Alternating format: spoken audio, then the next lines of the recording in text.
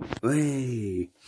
Okay guys, welcome back to another video, it's Corey, and um, today we're actually up at about 5 o'clock, we've been up for about half an hour, um, no joke, an inch big, like it was like literally an inch wide, an inch long, this massive spider that came and fell on my head from the ceiling, I don't know where it's gone, and um, left me a bit kind of paranoid to go lay down on my bed again, because I have a fear of spiders, but um, nonetheless, that ain't gonna stop us from doing what we're doing today.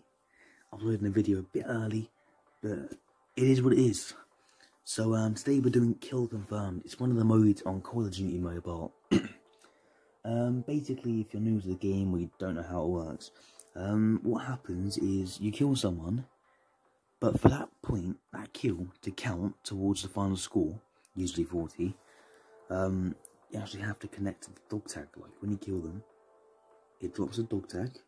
You have to collect that dog tag, and that confirms the kill. That's how it works.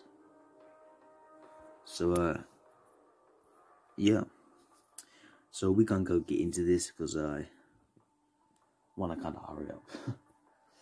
One or two matches, I'm not entirely sure. Maybe, maybe two. It doesn't take very. We're quite good at this. Usually, handle